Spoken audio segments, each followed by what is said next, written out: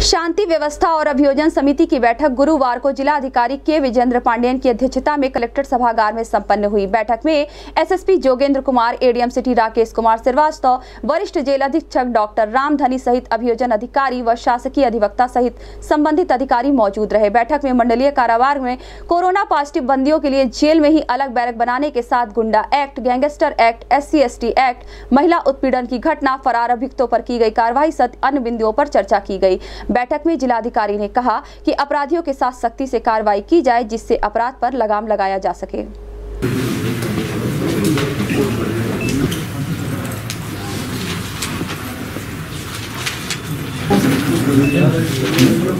तो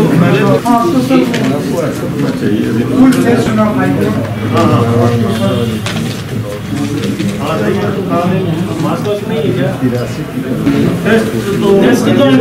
आपका डॉक्टर को ट्रेन कर देंगे वही मौके पे हो जाएगा एंटीजन होता ना एंटीजन किट हम देख देंगे वहाँ आपके डॉक्टर साहब को थोक में रख लेंगे वो तो दस मिनट में पता चल जाता है टेस्ट करके वो पर्ची दे देंगे पॉजिटिव है कि नेगेटिव पर्ची इसको भी खत्म कर देना चाहिए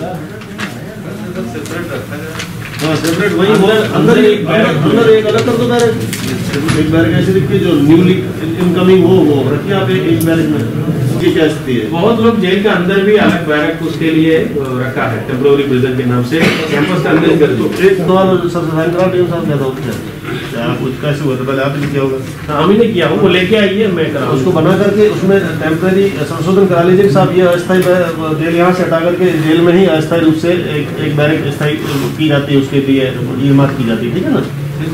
और उसी से वो फ्री होगी तो फिर इसमें लगा देना। आपकी अस्थायी जेल वहीं बना लो अंदर ही। जैसे और जिलों में हुआ भी है कहीं एक बैरक अलग भी है इनका इनका जगह भी वैसा वैसा ही जैसा बस्ती का ऑर्डर वैसे हमारा हो। है?